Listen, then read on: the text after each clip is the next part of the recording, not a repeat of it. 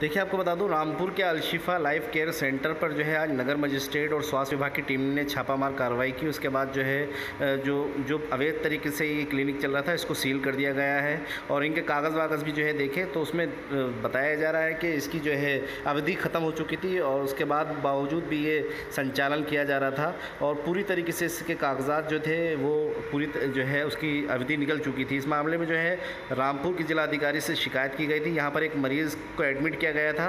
Drip लगाने के बाद, इंजेक्शन लगाने के बाद उसकी मौत हो गई थी। उसके बाद से ही इसकी शिकायत जो है रामपुर की जिलाधिकारी से की गई थी।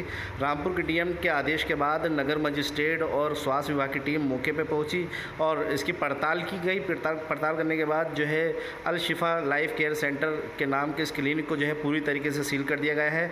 वहीं इसमें एफआईआर करने की भी तैयारी की जा रही है। रामपुर के ज़िला अधिकारी ने सख्त लहजे में कार्रवाई के निर्देश दिए हैं और रामपुर में और भी जो अवैध तरीके से संचालन क्लिनिक चल रहा है, नर्सिंग होम चल रहा है, उस पर भी जल्दी नकेल कसी जाएगी। इस मामले में रामपुर के जिलाधिकारी सख्त हुए हैं और कार्रवाई ताबड़तोड़ की जाएगी।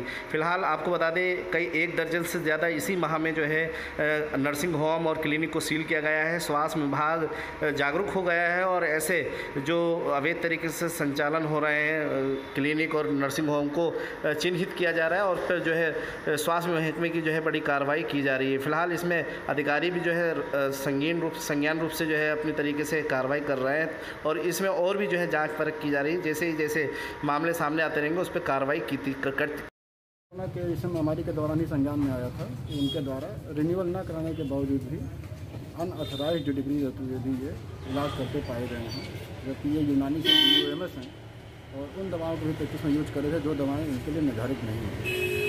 इसके लिए यूनानी अधिकारी को घोषित कर दिया गया है कि तत्काल एफ़ आई आर करा करके संज्ञानित कर, तब तक के लिए इनकी क्लिनिक को सील कर दिया गया है, क्योंकि वो अभी